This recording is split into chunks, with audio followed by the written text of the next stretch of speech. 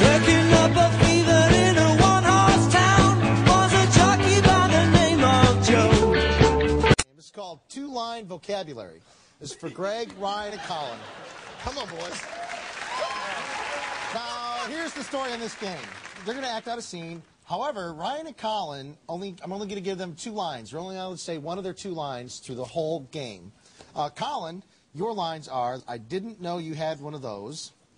And the other line is, that's completely disgusting. Ryan, your lines are, God, I love you. And the other line is, how does that feel? Now, that's all these guys are allowed to say through the whole scene. Greg can say whatever he wants. The scene is, Ryan, you're the president. You've just been caught with a woman, and you've called in Colin, your female press secretary, and Greg, his advisor, to resolve the crisis. So whenever you're ready, those are your two lines. Take it away. You called for us, Mr. President? God, I love you. Well, I'm, I'm awfully fond of you as well. That's completely disgusting.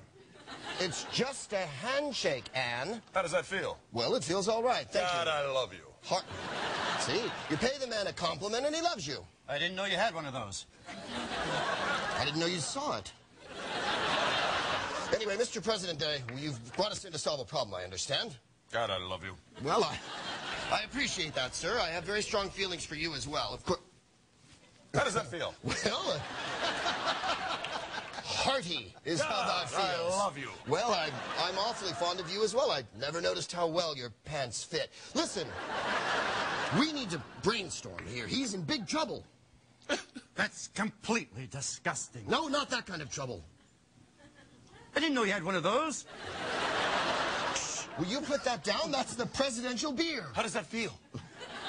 That's completely disgusting. God, I love you. My God, you're right. That is completely disgusting. How does that feel? That's completely disgusting. Oh, Sir, I, don't think we have time for this nonsense. We, God, I love you. He's gone over the deep end. Do you have any ideas? I didn't know you had one of those. I told you before. Of course I have one of those. Everyone here has one of those, but you. How does that feel? That is completely disgusting.